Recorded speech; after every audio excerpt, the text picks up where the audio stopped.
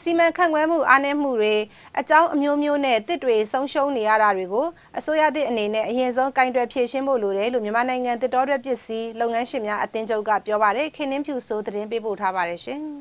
လူလူတက်တက်ပြီးထိုးလို့ရတော့တနှစ်ကိုတစ်တန်ချင်း18တန်းလောက်ဆုံးရှုံးနေပြီးဆုံးရှုံးရတဲ့အကြောင်းတွေကတော့မောင်ခိုလန်းကြောင့်မထိန်ချုပ်နိုင်တာနဲ့တန်မိုးရှိတဲ့တစ်တွေကိုထင်းမိတဲ့အဖြစ်အသုံးပြုနေရတဲ့အကြောင်းလည်းဖြစ်တယ်လို့မြန်မာနိုင်ငံတစ်တော်ထွက်ပစ္စည်းလုပ်ငန်းရှင်များအသင်းဥက္ကဋ္ဌကပြောပါတယ် ခုလိုအကြောင်းမျိုးမျိုးနဲ့တစ်တွေဆုံးရှုံးနေတာဟာခေတ်အဆက်ဆက်စီမံခန့်ခွဲမှုအားနည်းလို့ဖြစ်တာကြောင့်အစိုးရတစ်အနေနဲ့တေချာကင်တွေဖြည့်ရှင်းဖို့လိုတယ်လို့မေလ29ရက်နေ့ကပြုလုပ်တဲ့တင်းနှင့်တစ်တော်ထွက်ပစ္စည်းဆိုင်ရာတိုင်းရင်းသားလုပ်ငန်းရှင်များရဲ့အနာဂတ်ခီးနဲ့ပတ်သက်တဲ့အလုံးစုံဆွေးနွေးပွဲမှာသူကပြောဆိုသွားတာပါတလက်စာဟိုဒီနေ့ကကိန်းကနာပြောမယ်ဆိုလို့ရှိရင်အငါတို့တကယ်လို့ဒါတန်ကြီးပြလုံးတန်ကြီး2သိန်းသုံးမှု3သိန်းလောက်တယ်ဘုလို့ဒီထားမိလားမသိဘူးဒီနေ့ကဝတ်တက်လားမသိဘူးစိုးရထုတ်ပြန်တဲ့ကိန်းကနာရဆိုရင်ဒီနေ့ဒီနေ့မှာတစ်ပင် တန်ကြီးတန်း20ကျော်လောက်ပြုံးကြီးသွားတယ်တဲ့ဒီတန်တင်းဆို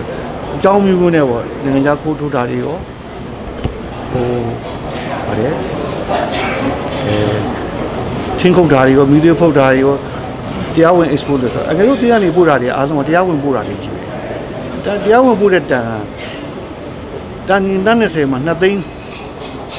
တော့ပဲရှိတယ်ဆိုတော့1%တော့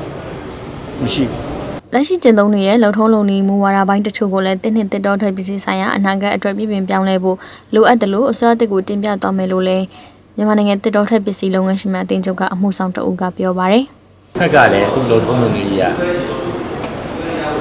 ဒီပြီးတော့ထိအောင်ကျွန်တော်တက်ရတဲ့လုပ်ငန်းတွေရှိတယ်။အဲ့ဒါတွေကိုကျွန်တော်တိုင်းအဆင့်တွေဖြတ်ချင်တယ်ပေါ့။ဟိုကကျွန်တော်ခွဲမိတ်တင်တယ်ခွဲသားရခိုင်တို့ခွဲရှိတဲ့ဟာတွေအဲ့ဒါကျွန်တော်တို့ကတိုင်းအဆင့်တွေပဲဖြတ်ချင်တယ်။တိုင်းကနေ လို့ဆိုပြီးကျွန်တော်နေချင်းမှားရင်လည်းစာရွက်စာတမ်းမှားရင်လည်းနေချင်းလုပ်လို့ရတယ်ပေါ့နေပြီးတော့ရောက်မှမှားတယ်ဆိုရင်ဒါပြန်ကြလာတဲ့ရက်တွေပါတယ်ဒီမှာလုပ်မှကြကြလို့ရတယ်ဆိုရတယ်အဲ့တော့ကျွန်တော်ဒီခွဲမိတ်တွေရခိုင်နှုံးတွေအားလုံးကိုတိုင်းအဆင့်နဲ့ပဲ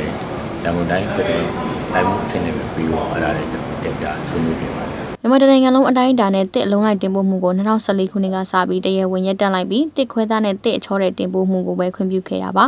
ဒါပေမဲ့နယ်စပ်ဒေသတွေမှာတော့တစ်ခိုးထုတ်နေတဲ့သတင်းတွေကထွက်ပေါ်နေဆဲဖြစ်ပါတယ်အထူးသဖြင့်တော့ကချင်ပြည်နယ်လမ်းကြောင်းကနေတဆင့်တရုတ်နိုင်ငံကိုတစ်ခိုးထုတ်မှုတွေရှိနေတာပါကျွန်မခင်းင်းဖြူဆိုပါ